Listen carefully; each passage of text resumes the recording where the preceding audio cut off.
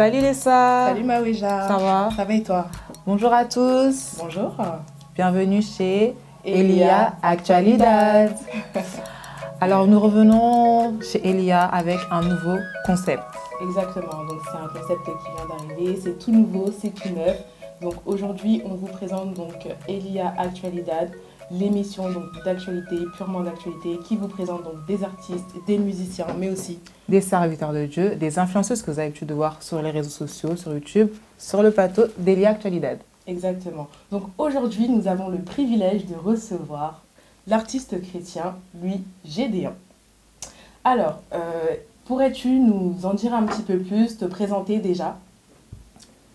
Merci tout d'abord pour euh, la parole et je bénis l'Éternel pour euh, tout ce qu'il a permis parce que tout commence par la parole et la parole c'est Dieu. C'est lui qui commence tout. Donc je rends gloire à Dieu, merci pour cet instant. Je suis Louis Gédéon Mangovo. D'accord. Et je suis un frère de l'église euh, La Bergerie de Nantes. Serviteur dans le milieu de chant. J'encadre. Et euh, voilà. Donc euh, MGV, ça signifie donc MGV signifie Mangovo. On s'est fait des calculs, hein C'est vrai qu'on s'est posé pas mal de questions. Du coup, on a fait notre petite recherche de notre côté mhm. et on a vu du coup que vous avez commencé la musique depuis très jeune, 8 ans je crois si je ne me trompe pas. Yes. Voilà. Depuis 8 ans. Voilà, ok. Et on a vu aussi que bah, du coup, vous étiez euh, fils de serviteur de Dieu. Est-ce que vous pouvez nous toucher un petit mot euh, sur ce point? Alors, si, il faut pour revenir un peu dans, dans l'histoire. Euh, Louis Gédéon a grandi dans une famille pastorale. Mon père est pasteur, ma mère est pasteur, consacré. Mon père, aujourd'hui, il a élevé, je pense, maintenant, une cinq, on peut dire, cinq générations de, de serviteur de Dieu. dont aujourd'hui on peut l'appeler bishop. Donc voilà, j'ai grandi dans cette famille, une famille sacerdotale comme on l'appelle bibliquement, dont euh, je suis le sixième de la famille. Donc euh, voilà, grâce à mes parents, j'ai connu la route du Seigneur Jésus-Christ. Mhm. Donc j'allais à l'église tout le temps par rapport à des instructions, comme la Bible l'a dit. Mes parents, c'est toujours bien d'élever ses enfants selon la parole de l'Éternel pour que plus tard, ils ne se détournent pas. Donc voilà, mes parents ont fait ce, travail-là. J'allais à l'école de dimanche. Et puis voilà, je suis d'une famille pastorale. D'accord. Mais du coup, euh, est-ce que la musique, c'est un choix personnel ou c'est les parents qui vous ont poussé? Parce qu'on a l'habitude, c'est quelque chose qui est très répandu d'avoir euh, des parents serviteurs de Dieu. Et du coup, lorsqu'on descend, on regarde à côté, il y a toujours les enfants chantres ou responsables de jeunesse. Donc du coup, est-ce que c'est un désir personnel ou c'est plus... Euh, la vision des parents voilà, tout à fait. Effectivement que vous n'avez pas tort en disant cela. Et c'est souvent, en fait, euh,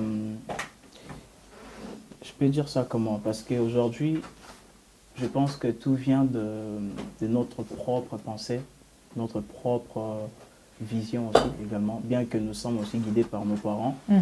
Alors mes parents m'ont élevé. J'ai été à l'école de dimanche, j'ai appris à lire, à lire la Bible, à l'école des dimanches, bien qu'il y ait eu des instructions des parents, etc.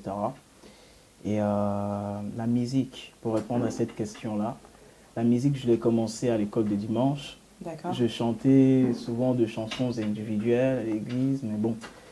Louis Gédéon, de base, ce n'était pas un musicien. Louis Gédéon, il rêvait être un footballeur professionnel. D'accord. Donc voilà, si je reviens un peu plus dans mon histoire, j'aimais vraiment le foot. Je jouais mhm. dans les quartiers, j'ai joué aussi dans des équipes euh, professionnelles mhm. en Angola. D'accord. Et euh, j'étais très passionné dans le foot. Et mes parents, voilà, je suis un enfant de pasteur, à part le foot, même si c'était ma passion, il y avait aussi le, euh, les partages, la parole de Dieu, tout ce qui est important hein, pour, un, pour un enfant de Dieu, pour un enfant de pasteur, je vais dire ça comme ça.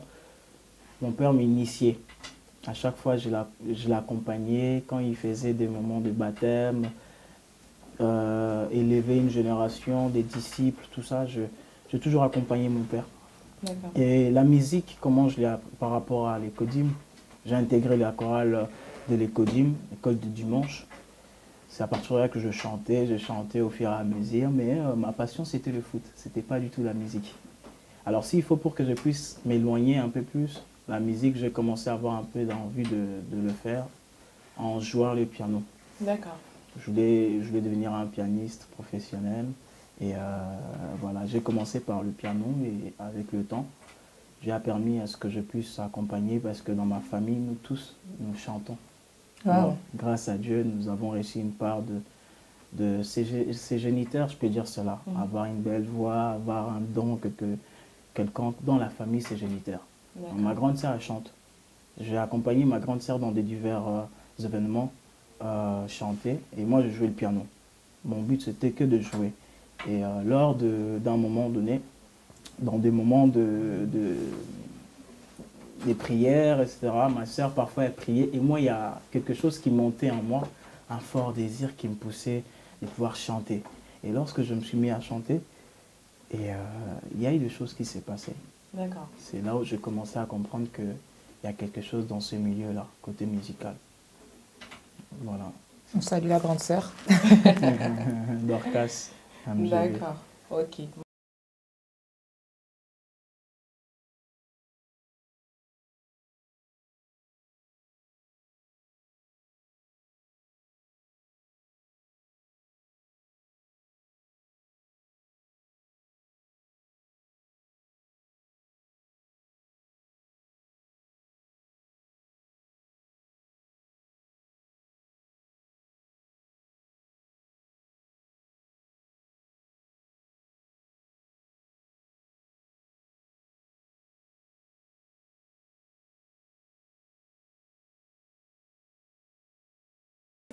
Euh, du coup, nous, aujourd'hui, on souhaiterait savoir euh, quelle est la vision musicale du frère euh, Louis Gédéon.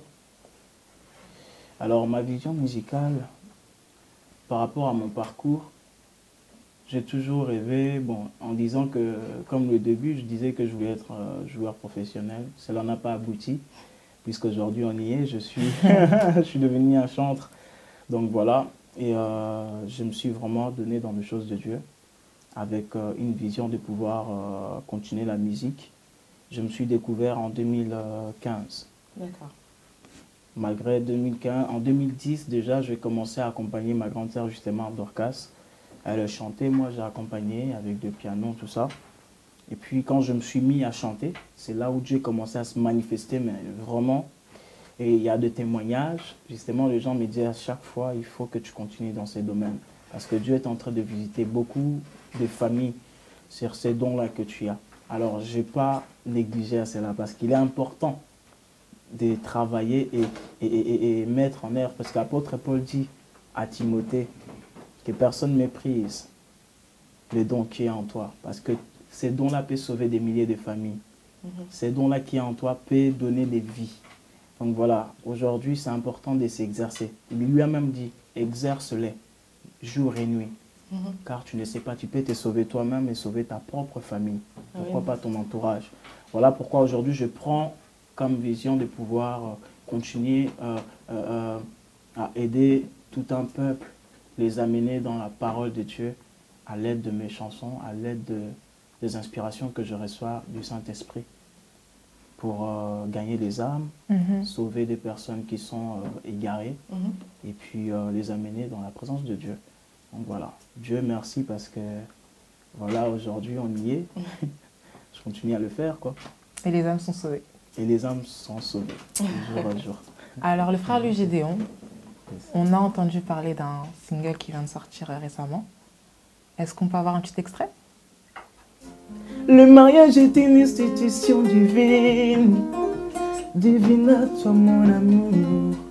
À jamais je serai fidèle c'est là durant toute ma vie.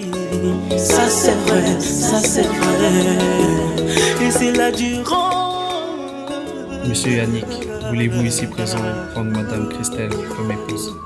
Oui, je veux. Madame Christelle, voulez-vous ici présent prendre Yannick comme épouse? Oui, je le veux. De l'éternel, de l'éternel, ici tu Ah oui, oui, oui, oui, oui, oui,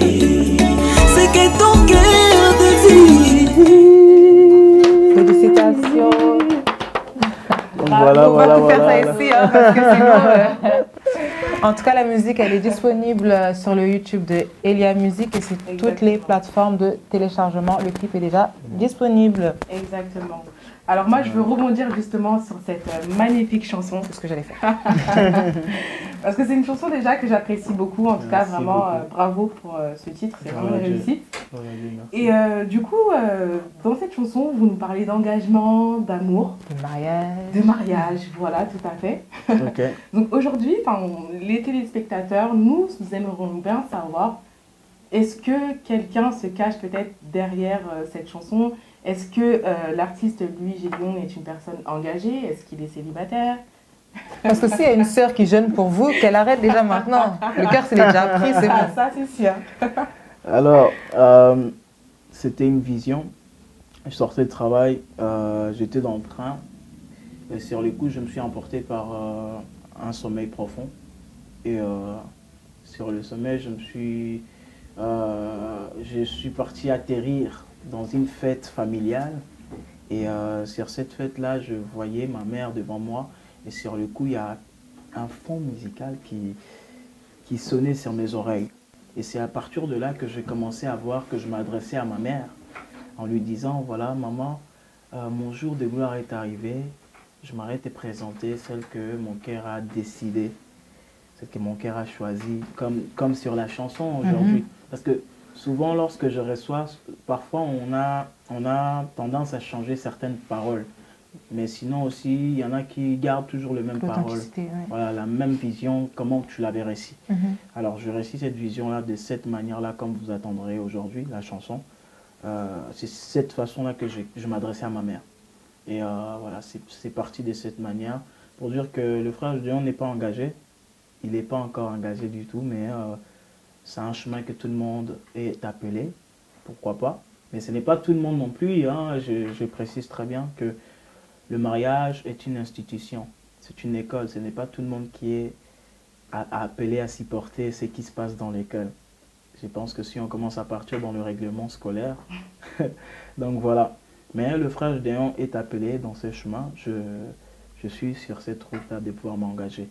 Donc je pense que si je récite cette vision-là, c'est parce que ce n'est pas aussi pour l'instant mon temps de pouvoir m'engager, me marier non plus, mais si cette chanson-là a permis à ce que tout le monde aujourd'hui puisse se retrouver et s'unir pour le meilleur et pour les pires, comme je l'ai dit sur la chanson, je dirais gloire à Dieu. Ça ne veut pas dire c'est une chanson qui a été pour le frère Gédéon, parce que quand je récite, la chanson n'est pas forcément pour nous, mais c'est pour le public, c'est pour tout un, pour, tout un chacun de ce, tout un chacun. Euh, qui peut, enfin, je peux dire des personnes qui peuvent se retrouver sur une chanson euh, comme euh, telle, enfin, ils se retrouveront, quoi, voilà. Mhm. Je peux dire ça comme ça, de cette manière. Donc la chanson euh, Le jour de gloire, je l'ai appelée de cette manière-là, voilà. Et c'est pour tout, tout le monde. Donc, ceux qui ont les oreilles pour entendre puissent entendre. Il n'a pas dit que, mais. Hein? Exactement. Donc, mes sœurs, restez attentifs. Toutefois, on a, comme euh, l'a pu le dire, c'est une chanson qui parle un peu du mariage. Mais on, toujours dans la petite recherche, on a pu voir que vous avez commencé. Tu as commencé, on peut tutoyer, pas de souci. On y va. Tu as commencé avec Alpha et Omega, qui était un style un peu à part. Ensuite, il y a eu euh, euh, Plus de condamnation. Yes. Oh, parfait. Tolukavi, si je ne me trompe pas. Le Lango. Très bonne mémoire. Du coup, là, tu viens avec euh, le mariage. Pourquoi ce changement de, style? Alors, tout d'abord, par rapport à ma première vision, comme Dieu m'avait euh, euh, inspiré, Alpha Omega, c'est vrai que j'en ai beaucoup de, chansons qu'elles ont peut-être pu sortir avant des chansons qui sont aujourd'hui sur le plateforme. Mais j'aime bien écouter Dieu. Lorsque Dieu me parle, c'est à ce moment-là que je peux faire quelque chose. Je pense que le temps d'Alpha Omega, c'était le temps d'Alpha Omega. Il n'y a plus de condamnation, c'était son temps. Lolango, Tolukavi, ça, ça aussi, c'était son temps. Alors voilà, le, jour de, gloire est arrivé, donc ça, aussi, c'était le temps du jour de gloire. Mais sinon, l'Alpha Omega a été mon premier projet, comme je l'avais réussi. Et euh, j'ai enchaîné avec euh, Il n'y a plus de condamnation. Tolukavi, c'était lorsque je signais euh, avec le label Inteo Music. Donc euh, voilà, en quelque sorte. D'accord. Bonjour à tous, c'est le pasteur Grace et Mekosino. Alors, je fais cette vidéo afin de vous inviter personnellement à ce grand rendez-vous qui se déroulera le 30 mars 2019 à partir de 14h30 au 34 avenue Charles de Gaulle 93 240 Star. Vous êtes mes invités. Et pour cela, une navette sera disponible à partir de 13h30 à la gare de série Z, à partir de 13h30. Une navette sera là pour vous récupérer de la gare et vous emmener jusqu'à la salle. Et dans ce grand rendez-vous, je ne serai pas seule. On aura deux invités.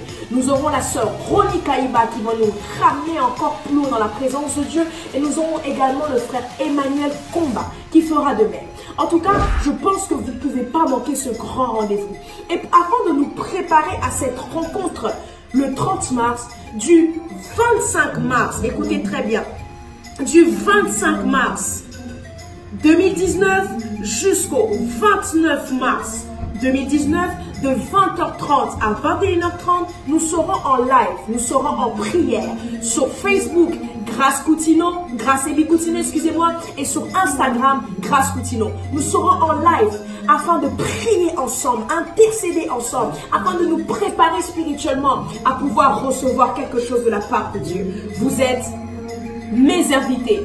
Que Dieu vous bénisse abondamment. Et nous nous retrouvons le 30 mars. Soyez bénis. Donc, euh, moi, j'ai une petite question par rapport à ton parcours euh, artistique.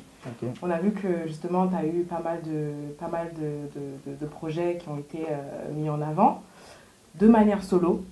Est-ce que peut-être dans l'avenir, tu envisages peut-être la création d'un groupe?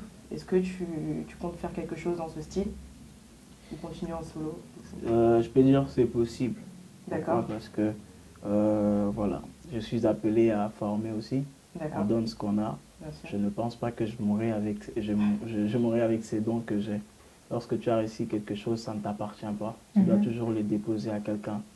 Ouais, Vous voyez, c'est comme ça. Le manteau d'Élie a été donné par Élisée.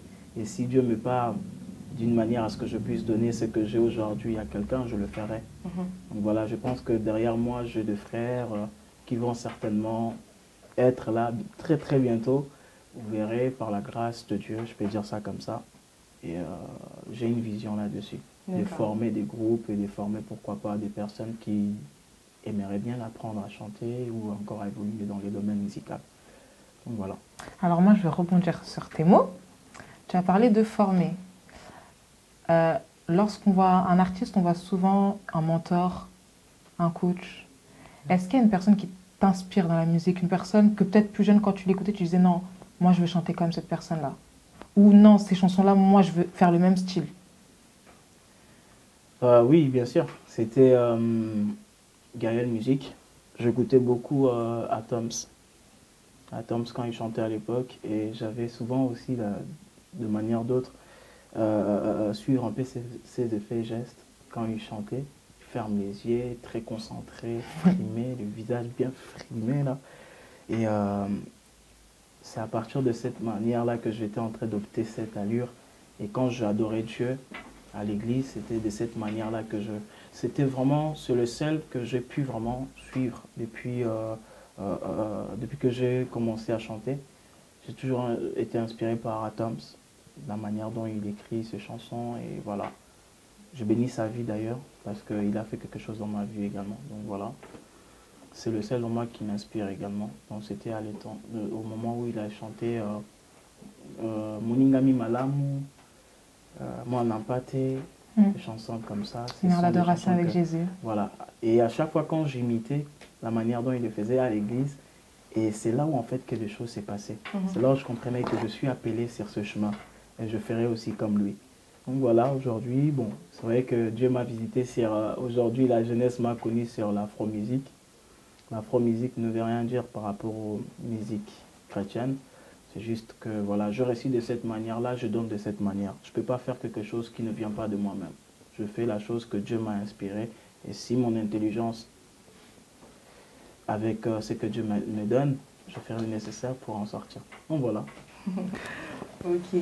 Donc on a fait donc le, le tour à peu près sur euh, ta carrière donc euh, artistique. On a vu les points forts du coup de ton parcours.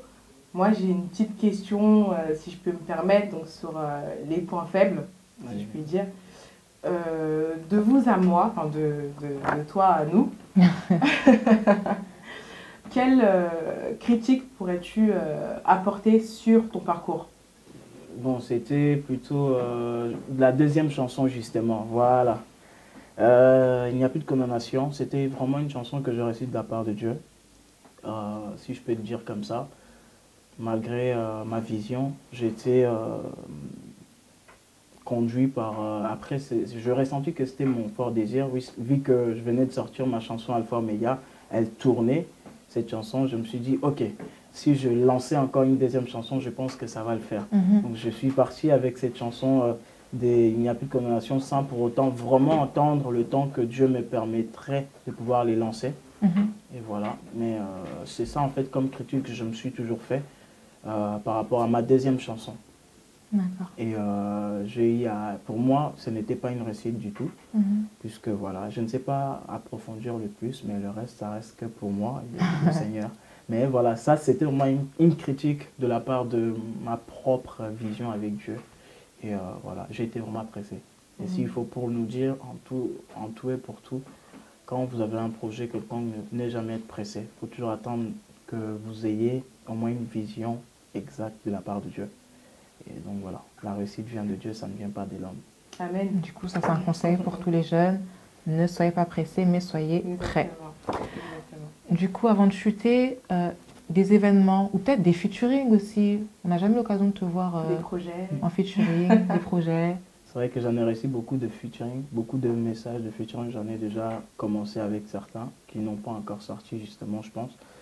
Et euh, moi, personnellement, je sais que j'ai aussi dans mon parcours à faire pas mal de featuring avec euh, beaucoup des hommes de Dieu que je, je, je, suis très, très impressionné de leur euh, travail dans le milieu artistique, musicalement, je peux dire ça comme ça. Et je sais que ça va arriver. Ça reste secret, hein? Ça reste un secret. Secret, même nous, non? Ah. Non? Il ne veut, pas le dire, hein? Ça va rester entre nous, t'inquiète pas. Hein? on verra, on verra. Il faut tout simplement s'y reprendre le public, il faut toujours aussi s'y reprendre le peuple de Dieu. Et c'est comme ça. Dehors, tu, tu vas en parler. non. Ok, bah en tout cas, on, te remercie vraiment pour avoir accepté euh, notre invitation. Merci d'être venu, merci d'avoir répondu à toutes nos questions et de nous avoir éclairé du coup euh, sur euh, ton parcours artistique. C'est un plaisir de te recevoir sur le plateau de Elia Actualidad. On tenait à remercier l'équipe Bélange ainsi que le coach Elia, visionnaire d'Elia Musique, Exactement. simplement. Et on vous dit à très bientôt chez Elia Actualidad. Que Dieu vous bénisse.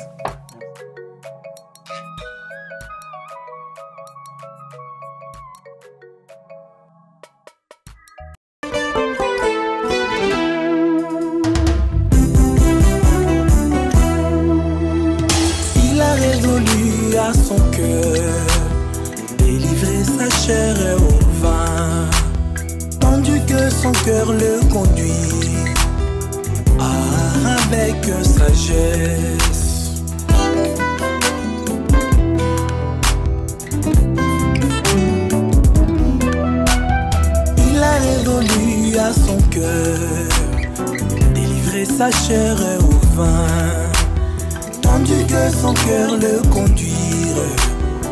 Ah, avec sagesse. Walenga mosala moto te kaka nzambe ye moko nakoki osala boye. Na nyango nzoto nekabwama na vino.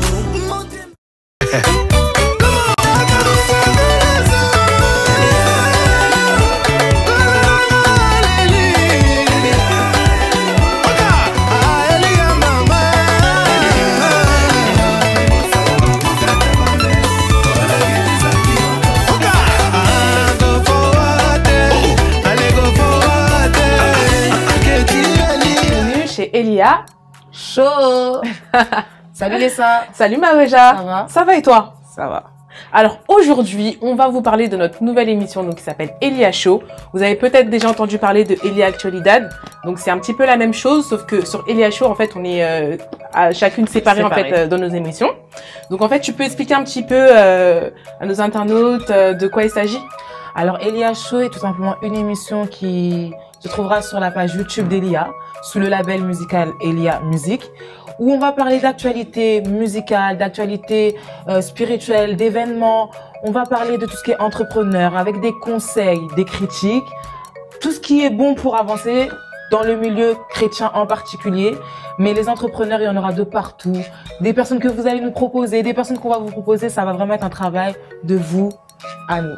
Exactement. Donc toi qui regardes cette vidéo, n'hésite pas vraiment à venir nous suivre, à être tenu informé de tout ce qui est actualité, témoignages, critiques, conseils, vraiment la totale sur tout sur tout ce qui concerne le monde chrétien. Donc n'hésite vraiment pas, il y aura des artistes, comme euh, comme l'a dit euh, Maweja, il y aura des, des, des, pasteurs, il y aura des influenceurs, des influenceuses, enfin il y aura pas mal de monde, donc vraiment n'hésite pas à venir nous suivre. C'est un travail d'équipe. Hein. Exactement. avec vous. Exactement. Du coup, pour nous contacter, alors on est présent partout. Instagram, Elia Musique 01, Facebook, Elia, Musique. Euh, Snapchat et la musique. Mais vous pouvez aussi nous contacter personnellement pour toute demande. Si vous voulez participer à notre émission, on est ouvert à tout public. Exactement. Donc n'ayez pas peur, n'hésitez pas vraiment à venir nous contacter sur nos réseaux. Exactement, comme je dis toujours, je mange que les glaces et les hamburgers. donc voilà. donc voilà. Donc personnellement sur mon Instagram, vous pouvez me retrouver donc sur lessa-west ou sinon sur Facebook, c'est Wallen Westwood tout simplement.